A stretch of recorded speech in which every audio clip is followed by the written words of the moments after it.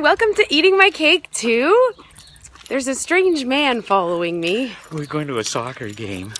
Today's episode, oh, there's a oh, strange going woman to following a- me. I'm going too to the soccer game. Today's episode is going to be about extracurricular activities for your kids. Stay tuned. Five goals, you win. Probably Go.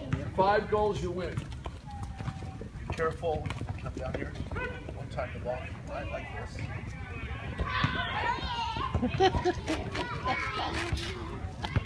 I'm the goalie over here.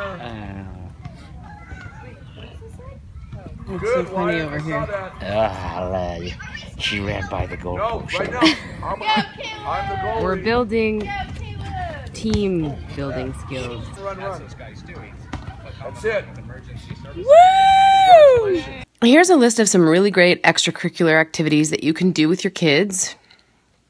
And uh, Callie so far has done ballet, swimming. She's been doing soccer. We're going to try t ball. Uh, I think it's really great to get girls involved in different activities and different sports and things like that so they can find out who they are and, and what they truly like to do. Excuse me. I want to talk to you about your soccer. You did great. Did you have fun? yeah. Quinny, what activity would you like to try? Would you like to try swimming or soccer? Swimming.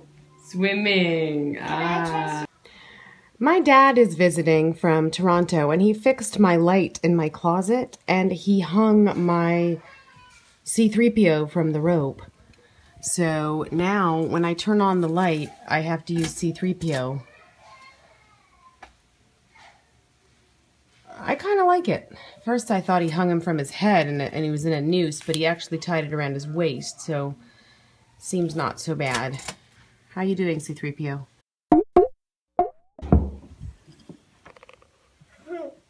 Hi, little ladies. What are you guys doing in We're here? scanning. We, we were selling books and we were scanning each one. Oh, it? What are you guys doing?